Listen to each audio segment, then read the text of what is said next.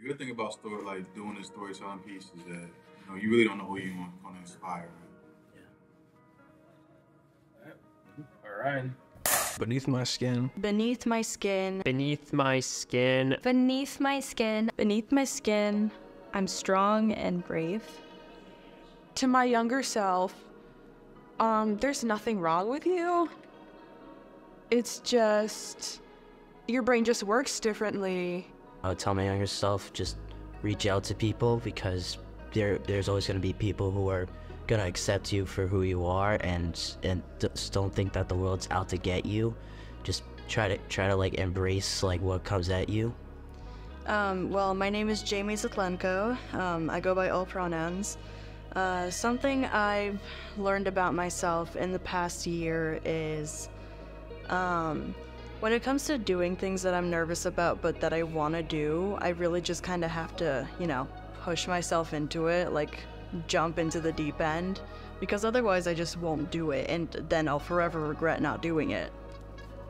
So, my name is Hasna, um, and I think one thing that I learned about myself this year was how brave I am or how strong I really am.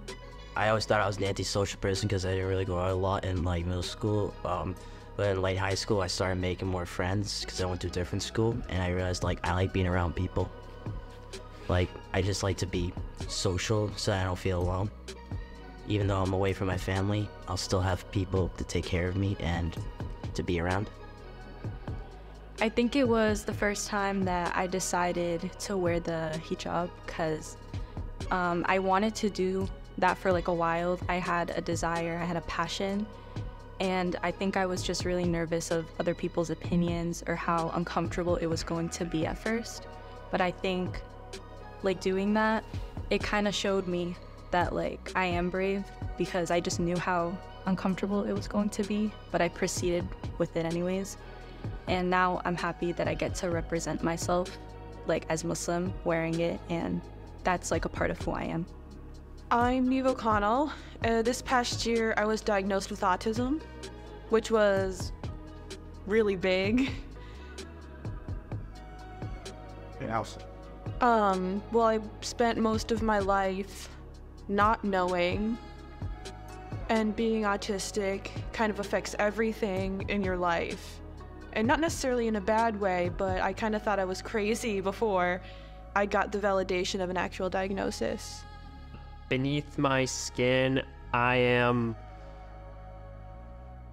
Oh, I'm gonna have to think about that one now. Beneath my skin, I am me. I am Amaya. I am a poli sci major. I double minor in legal studies and media and communications. And I don't know, I guess in the past year, I just learned about um, my ability to problem solve and communicate. I used to be, I kept to myself like a lot. I kept to myself so much in like kindergarten that my teacher thought I was mute. So then when my mom um, had a meeting with a teacher, she was like, oh, what do we do about this disability Emily has because she's mute? My mom's like, she's not mute, she talks all the time. So I just try to like be myself and be talkative around new people. I'd say probably throughout a lot of elementary school. Um, that that was kind of my existence.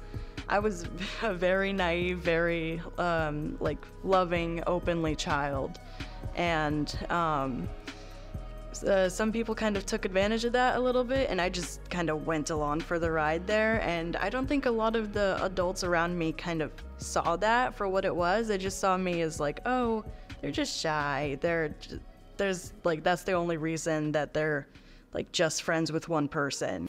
Gaze in the mirror. What do you see? A world of potential waiting to be free.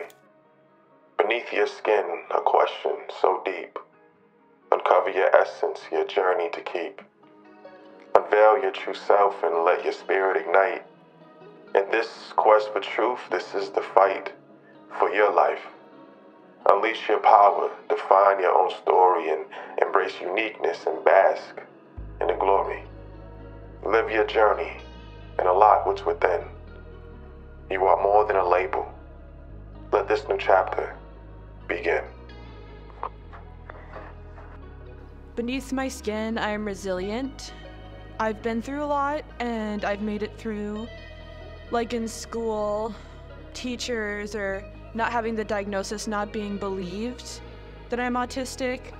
The last game of baseball that I ever played, uh, I struck out in my last at bat, obviously, and then uh, snapped my bat in front of the whole team, threw it, and uh, I would say that, that was probably one of my bigger mistakes. I felt bad about that. As soon as I as soon as I got into the dugout, all my teammates were there for me. Everyone was cheer like everyone there was no lack of cheer or anything. So uh I guess just I needed to be better.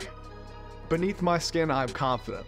Beneath my skin, I am my family. Um, my family is just kind of like my rock, my support. They taught me my values, what I aspire to be. They my support system. I do a lot to like go back and be like, this is what I did, and see how they react, and just have them with me. Well, I do it for my myself. I do it for myself mostly, but also like my mom. I'm big on family. I'm a big family person. Uh, just trying to like, I don't know. I just really want to set my mom up for success, because understanding like struggle, but also like seeing the strong person she is. Like she's my greatest role model. Like she's my best friend. So like she just really held like holds it down in different situations, most of which were some stressful. Other times it's just regular situations. But I don't know. She's always been the person I confide in with anything I'm really going through, and she really knows what to say in the different situations. So what's life without no problems? So stuff is always happening, and uh, I'm a little bit further away from my family for the most part, and there's always, like I said, life's always happening. So I got stuff going on, but my mom got stuff going on, my brother's got stuff going on. So I have to have the ability, to an extent, to solve my own problems and figure stuff out. So just figuring it out. My parents were really busy um, with just life, and um, I had to like rely on myself a lot. And I kind of like didn't give myself enough credit when I could like manage um, living, you know, still with my parents, but like m- more independent, like cooking my own meals and doing my laundry and stuff like that. Beneath my skin, I am improving. Um, I chose the word improving because, you know, that's really what life is all about growing, changing. If you like, if you encounter a bump in the road, yeah, you might trip, but, you know, as long as you pick yourself up or you ask for help to be, you know, picked up or like get a hand, then you're always able to continue on. And as long as you like know um, and can like kind of feel that that growth within yourself, you're always kind of grounded to the earth, even in your worst moments.